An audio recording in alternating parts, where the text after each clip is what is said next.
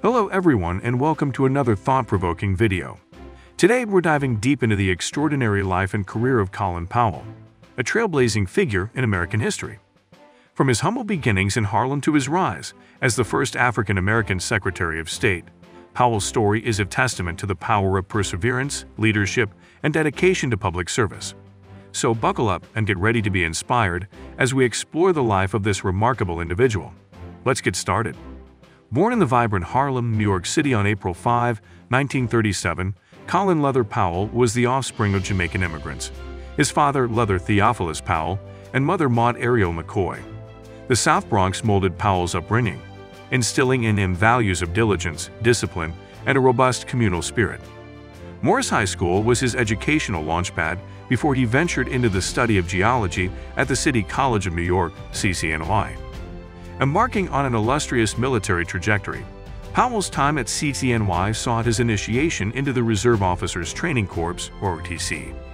With a 1958 graduation, he stepped into the United States Army as a second lieutenant.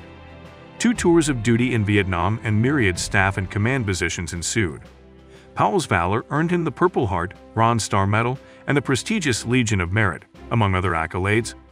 A White House fellowship in 1971 marked Powell's foray into high-level government, broadening his horizons even further. The ascent continued. 1987 witnessed President Ronald Reagan appoint Powell as National Security Advisor.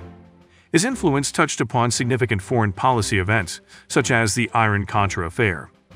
By 1989, President George H.W. Bush nominated Powell as chairman of the Joint Chiefs of Staff, making him the first African American and youngest officer to hold the esteemed title. As chairman, Powell's oversight spanned multiple military operations, from the 1989 invasion of Panama to the 1991 Gulf War. Retirement from the military in 1993 led to an autobiography, My American Journey, encapsulating his life and career. Powell's diplomatic finesse and leadership prowess stoked speculation of a presidential bid in 1996 but he ultimately demurred. In 2001, President George W. Bush named Powell the 65th United States Secretary of State, the first African American to hold this post. His tenure was instrumental in sculpting post-9/11's American foreign policy. Powell championed strong global alliances and advocated for democracy and human rights worldwide. Powell's term as Secretary of State was not devoid of controversy. His 2003 United Nations Security Council presentation, alleging Iraq's weapons of mass destruction WMD program, was eventually discredited. The fallout from the Iraq War and the absence of WMDs marred Powell's reputation, with the UN speech becoming what he referred to as a blot on his record. Transitioning to private life post-2005, Powell maintained a public presence, serving on multiple corporate and nonprofit boards.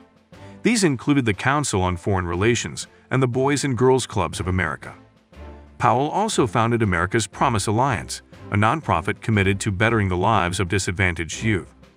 Colin Powell's life shattered barriers, epitomizing leadership, determination, and resilience. His roles as a military officer, national security advisor, and Secretary of State indelibly shaped American foreign policy for decades.